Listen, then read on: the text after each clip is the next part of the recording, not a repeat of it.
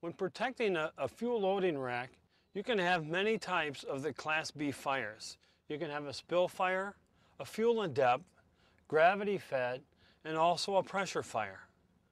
That way there, you'll need an extinguisher that's capable of extinguishing all types of those Class B fires.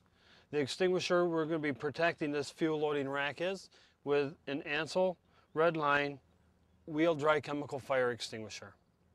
The extinguisher itself has an agent container holding 350 pounds of the BC dry chemical. And we have a fill cap on for ease of recharge. Another component is the nameplate. The nameplate gives you valuable information for the types of fires that the extinguisher is rated for.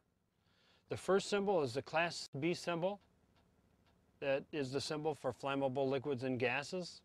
And the second symbol is the Class C symbol, meaning that you can apply this agent to an energized electrical hazard involved in a fire. Another component is a nitrogen cylinder that's used as the expellant gas to discharge the dry chemical out of the cylinder. It's going to discharge the dry chemical out of the cylinder into a one inch hose that is 50 feet in length.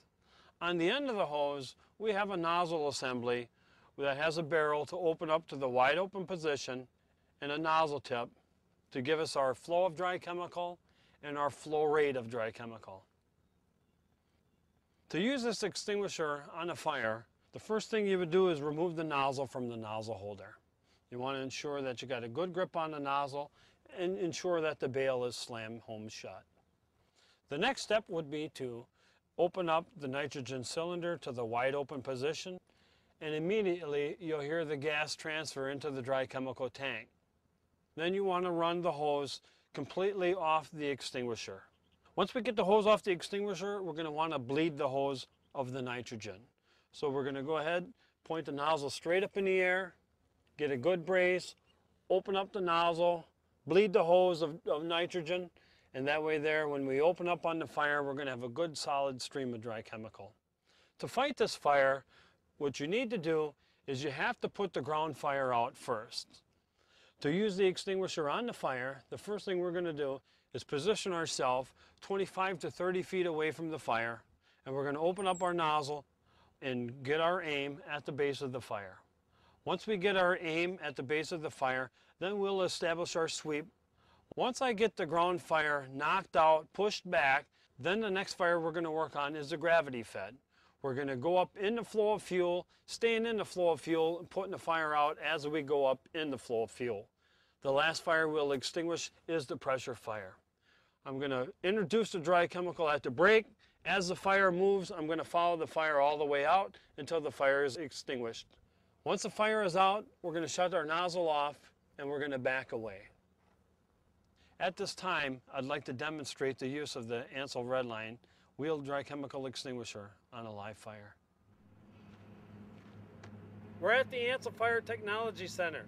The fire we're going to demonstrate is approximately 250 square foot of flammable liquids. The extinguisher we're going to use is the ANSUL Redline 350 pound wheel dry chemical extinguisher. At this time, I'm going to turn it over to the professional firefighter.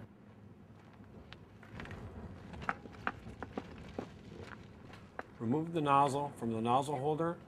Make sure the bail is shut. Open the nitrogen cylinder to the wide open position. Remove the hose completely off the wheel extinguisher. Bring up a good solid stream of dry chemical and then position yourself to fight the fire. Brace yourself, open the nozzle, make aim, establishing your sweep from side to side from the front edge to the back. Fires out, shut your nozzle off, and back away.